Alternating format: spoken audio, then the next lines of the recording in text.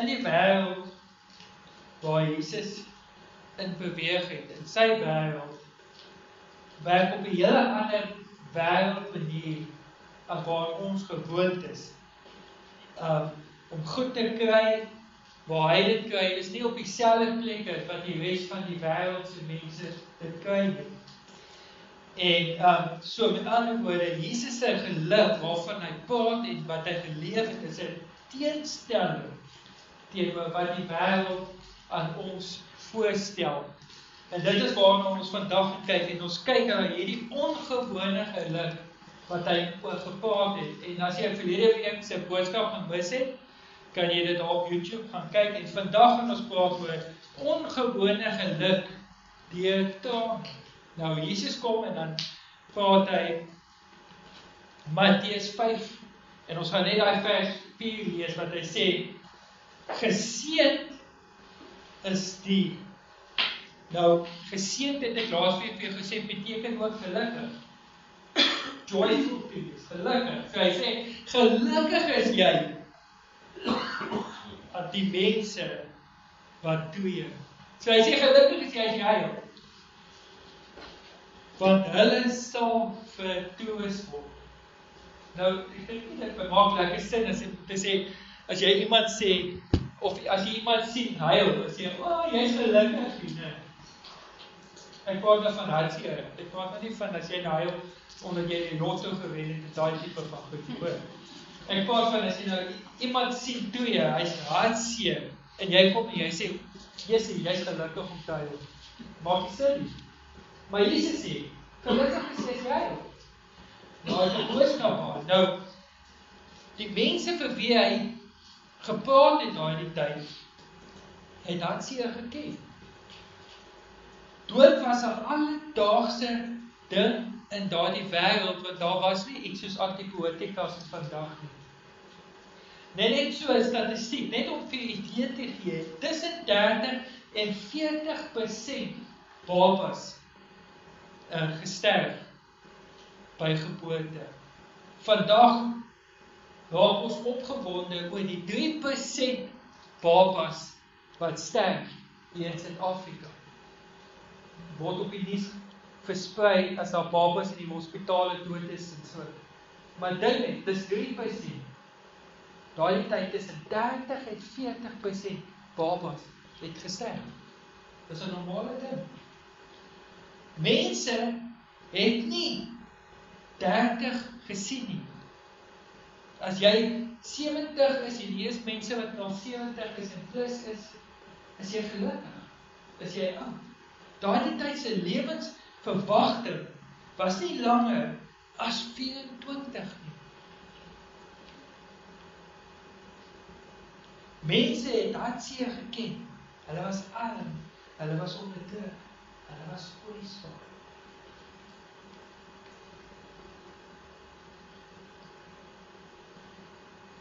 Wat baie belangrik wat jy moet onthou rondom hierdie soort van goed siektes en dood het mense een kant toe gestoot. Want net om vir 'n idee te gee, iemand wat aan 'n lijk geraak het, mag vir 7 dae lank nie met iemand anders in aanraking gekom het. So jy mag nie in openbare plek kom het nie, jy mag nie kerk toe gegaan het nie, jy mag nie winkel toe gegaan het nie, jy mag nie 'n familie gesien het nie vir 7 dae. En nou kom Jesus En hy kom juis om die mense wat uitgesluit is. Bring hy en hy sluit hulle weer terug in die groot groepe.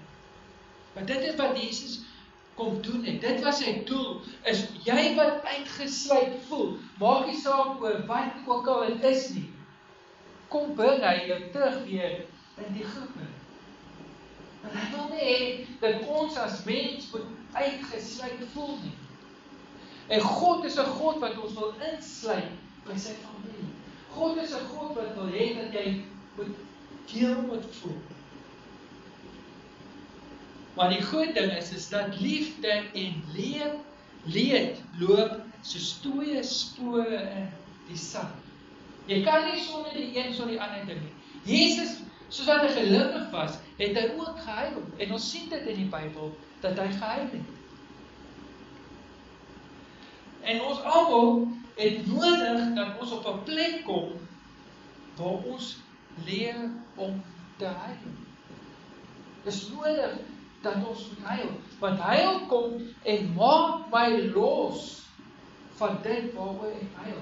Dit genees my, dit breek my, want jy sien ons loop met so baie hartseer in ons lewens en ons breek nie daarmee nie. Dit word net 'n groter probleem in ons lewens want omdat ons nie daarmee deel nie. Kom Jesus en hy leef vir ons en sê as jy huil As jy op 'n plek kom waar jy waar 'n uh, tree bring genesing in jou lewe. Ek wil vir jou 'n storie vertel. Dit is 'n legendiese dit is 'n legende as ek dit so kan sê van 'n vrou wat ek wat sy kind gesterf het. En toe die kind sterf, het sy die lykie aan haar vasgemaak en berg opgeklim van daar waar sy gebly het. Want in die berg, op die berg, het 'n wonder gebly wat wonderwerke kon doen en ook kon dooies opdoen. En so het hy opgeklim en hierdie kind tot by hom. En vir hom gevra gesmeek en gesoek wat hy gesê, "Kan jy my help dat hierdie kind van my opgewek kan word?" En hy sê vir hom: "Ja, vat. Maar daar's iets wat ek wil hê jy moet gaan doen voordat ek dit gaan doen. Jy moet teruggaan en daar in elke huis of 'n huis kry. Jy moet 'n huis kry waar jy 'n handvol koring kan kry en vir my bring, maar die huis waar jy 'n handvol koring kry, moet 'n huis waar daar nooit hartseer soos joune was nie. En sy het teruggegaan eers na haar dorp toe en gaan soek na 'n huis waar daar nooit hartseer soos haar was, waar sy hand vol oor kon kry. En so het sy van huis na huis toe gegaan en nergens gekry nie, die land deur gegaan en nergens 'n huis gekry waar daar nie sulke hartseer was nie. En by elke huis het sy die tone gesien, saamgeluister en gepraat en gehuil. En daarna toe kon sy haar kind begrawe. En jy sien wat sê die storie vir ons? Die storie sê vir ons dat voordat ek kan aanbeweeg, moet ek eers die dooie wat ek saam met my dra, die dooie hartseer wat ek saam met my so dra, my hele lewe lank begrawe sodat ek vreugde in my lewe kan kry om aan te beweeg, sodat ek werklik waar God se vreugde in my lewe kan leef. Maar so baie van ons leef by elke dag met 'n masker op, op ons gesig en maak asof ons gelukkig is because cowboys don't cry. Dis ons mos geleer. Maar ons almal moet op 'n plek kom. Maak nie saak hoe jy tree nie. Jesus sê, "Verdien wat tree sal daar vertoesting wees." Maar jy kan nie vertoesting kry as jy nog nie by die tree gedeelte was nie. En so hardloop ons weg van dit wat ons so hartseer maak. Ons klop dit in ons lewens op en dan wonder ons hoekom ons so siek word. Hoekom ons so siek is. Hoekom God ons nie kan gebruik nie. Hoekom ons nie kan aangaan in die lewe nie. Is omdat ons mond um of klaande goed in ons lewe saam met ons elke dag dra en ons nie daarmee geklaar maak en ons agter ons sit nie. Jy kan nie vorentoe gaan as jy nie die verlede agterlos nie. Jy kan nie vorentoe kyk as jy die hele tyd agtertoe kyk nie.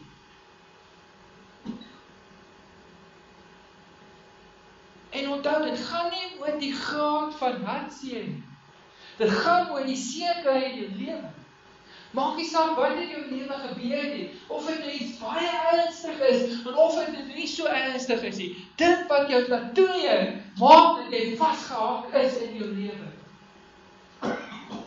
En Ons met hierdie gelykenis om te sê, gelukkig is jy as jy op hierdie plek kan kom waar jy treur en sê ek maak klaar met dit wat my ongelukkig maak, sodat daar vir my 'n nuwe toekoms kan wees.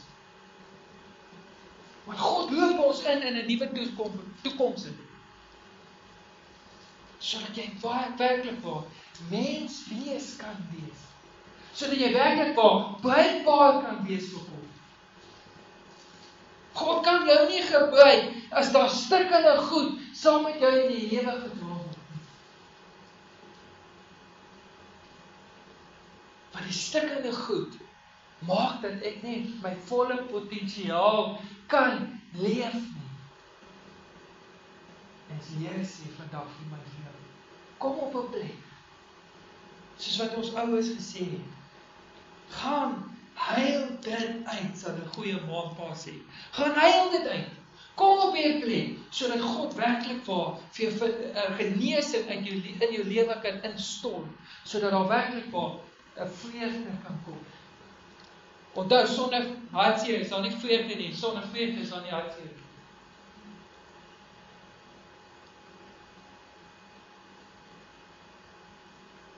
Ons almal is soms hartseer. En ons almal het nodig om te kies op 'n plek te kom waar God die trane in my lewe Wat gaan jou besluit wees vandag? Met dit wat jy so lank saam met jou mond doen. Dit word jy twee ding in jou lewe. Dit vlot. Maak jou stem.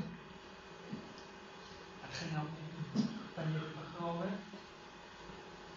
en huil daaroor sodat God die trane kan afvee en jy kan aanbeweeg. Of gaan jy maar die res van jou lewe aanhou? te dra soos hierdie vrou om jou vas te pin. En berge op en berge af. Van jy werklik klaar maak sodat God se lewe in kan. Ja. Baie dankie dat U vir ons het word in 'n tyd van hartseer. Dat hy kom om ons op te tel as ons down voel, as ons net sê. Ja, kom hier, jy kom genees dit wat stikkend is in ons lewens. Dink is hier stikkende goed, dooie goed wat ons saam met ons dra dag in dag nag dag in dag lewe wil ek vir elkeen bid wat vandag sê Here sien my raak met hierdie goed wat ek elke dag van my dra wat my so hartseer maak. Ek wil huil daaroor. Ek is hartseer daaroor. Genees dit. Sodat ek kan aangaan. Sodat ek die vreugde van God in my lewe kan ervaar. Bid ek vandag hier vir elkeen dat ons op hierdie plek sal kom. Dat God se genesing ons bespoed en heel. Ek dank U daarvoor. In Jesus naam.